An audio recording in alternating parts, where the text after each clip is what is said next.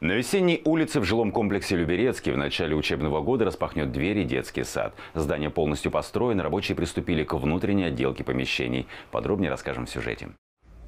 Дошкольное образовательное учреждение начали возводить весной прошлого года. Строительство здания полностью завершено. Рабочие прокладывают внутренние инженерные сети, оштукатуривают стены, монтируют теплый пол. Прилегающая к детскому саду территория будет благоустроена. Здесь проезды в брусчатке и э, теневые навесы. Кустарники, довольно-таки богатое озеленение, красивое, современное.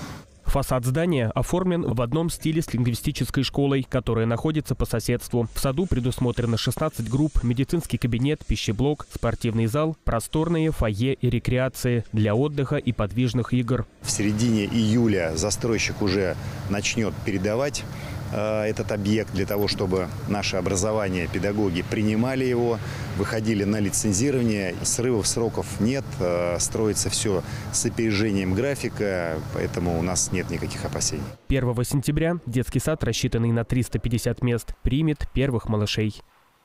Богдан Колесников, Сергей Гвоздев, телеканал ЛРТ.